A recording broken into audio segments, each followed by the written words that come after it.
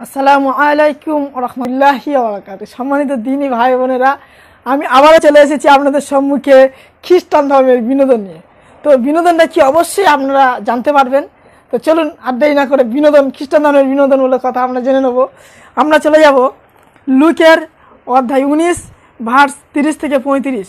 এখানে বলা হয়েছে, তোমরা সামনের ওই গ্রামে যাও, সেখানে ঢুকিবার সময় দেখিতে পাইবে একটি গাধার বাচ্চা বাঁধা আছে।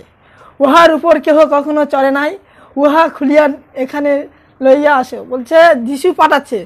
যাও, তোমরা ওখানে যাও মানে সামনের গ্রামে যাও, সেখানে ঢুকিবার সময় দেখিতে পাইবে, দেখতে হবে একটা গাধার বাচ্চা বাঁধা আছে। উহার উপর কেহ কখনো চড়ে নাই। কেউ চড়ে না উহার উপরে, ভালো কথা। গাধার বাচ্চার উপর কেউ চড়বে? অবশ্যই চড়বে না, যাই হোক। উহা খুলিয়া এখানে লইয়া আসে। নিয়ে আসতে বলছে মানে যাদেরকে পাঠাচ্ছে যিশু যদি কেউ জিজ্ঞাসা করে, কেন উহা খুলিতেছ? যদি কেউ জিজ্ঞাসা করে, কেন উহা খুলিতেছ? তবে বলিও, প্রভুর দরকার আছে মানে যিশুর দরকার রয়েছে। যাই হোক যে সাহাবিদের পাঠানো হইয়াছিল, তাহারা গিয়া ঈশার কথা মতোই সমস্ত কিছু দেখিতে পাইলেন। মানে সেখানে গিয়ে গাধা দেখতে পেয়েছে যাই হোক তাহারা সেখানে সেই বাচ্চাটা খুলিতেছিলেন। তখন মালিক তাহাদের জিজ্ঞাসা করেন ওই গাধার মালিক তাদেরকে জিজ্ঞাসা করছে, তোমরা বাচ্চাটা খুলিতেছে কেন? অবশ্যই অন্যজনের গাদা যদি খুলতে যায় তো জিজ্ঞাসা করবে যে, তোমরা অন্যজনের গাদা খুলছো কি? মানে মালিক তো অবশ্যই জিজ্ঞাসা করবে, তোমরা এই গাধাটা খুলছো কেন? মালিক জিজ্ঞাসা করছে কথা মতো। তাহারা বলিলেন, প্রভুর দরকার মানে যিশুর দরকার, যাই হোক যিশুর দরকার গাধা তারপর সাহাবিরা সেই গাধাটার বাচ্চা ঈশার কাছে, ঈশার নিকটে আনিলেন এবং তাহার উপর তাহাদের গায়ের চাদর, পাতিয়া দিয়া ঈশাকে বসাইলেন। তাহলে এখান থেকে কি বুঝলেন? যে যিশু যে এখানে কি বোঝা যাচ্ছে যে যিশু গাধা চুরি করতে নিয়ে আসে। মানে বাচ্চাদেরকে গাধা চুরি করে নিয়ে আসতে বলেছে। খুব ভালো কথা, গাধা চুরি করতে, চুরি করে নিয়ে আসতে বলা হয়েছে। কিন্তু আপনারা যদি বুক অফ তে চলে যান অধ্যায় সাত, ভার ষোলো থেকে ছাব্বিশ।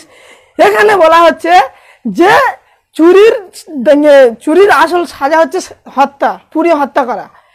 চুরির শাস্তি হচ্ছে পুরী হত্যা করা। কিন্তু লুক অধ্যায় উনিশ ভার্স তিরিশ থেকে পঁয়ত্রিশ এখানে চুরি করতে যিশু পাঠিয়েছে। খুব ভালো কথা।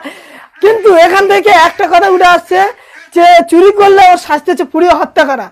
কিন্তু যিশুকে পুরী হত্যা না করে ওকে ক্রুশবিদ্ধভাবে হত্যা করা কেন হয়েছে? এটা বাইবেলের সাথে অবমাননা নয়। আর মেন যে পয়েন্টটা উঠে আসে এখান থেকে যে বাইবেলে ঈশ্বর চোর।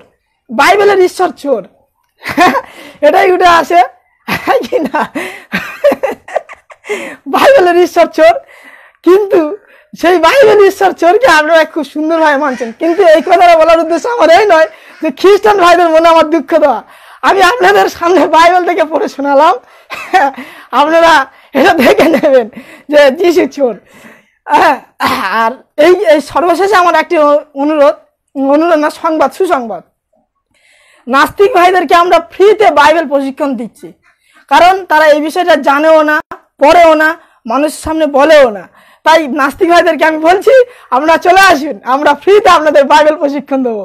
এই বলে আমার ভিডিও শেষ করব। আসসালামু আলাইকুম, রহমতুল্লাহি